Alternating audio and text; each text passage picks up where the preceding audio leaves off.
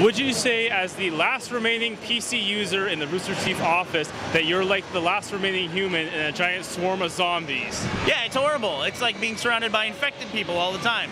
And all they do is like go widgets. We love our widgets. Look how iTunes syncs in less than 15 minutes. It sucks. And on the same topic, what is your zombie plan? I will never tell anyone what my zombie plan is because I don't know if you're gonna get infected. And what happens if you retain the memories of my zombie plan? Forget about it. Fear not, I'm a PC user till death. I'm a PC user till death. Good, good. Hope, hope to see you at the uh, panel. So, uh, Yeah, absolutely. All right. Actually, I think you're gonna like what you see at the panel. It'll be fun. Excellent. More more reconstruction, I presume. Yeah, it's just a red versus blue episode, one we've definitely never shown anywhere before. Excellent. Thank you. Thank you very much. Bye.